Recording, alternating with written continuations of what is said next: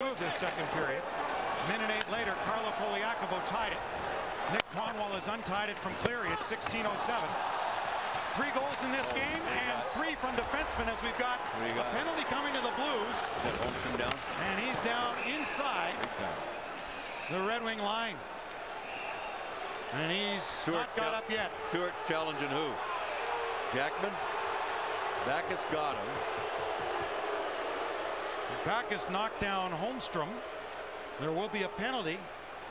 Well, he's got his bell rung, that's for sure. And the only question is, did he have the puck? No. If he blindsided him, that's a dirty hit. Top right of your screen. Right Oh, there. jeez. Cross-checked him in the in the in the ribs.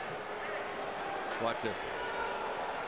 Oh, right where there's no protection. No kidding. Right above the pants and below the uh, shoulder pads or the chest protector. That's an unnecessary play for David Backes to make. Go for a line change. It's a dirty play.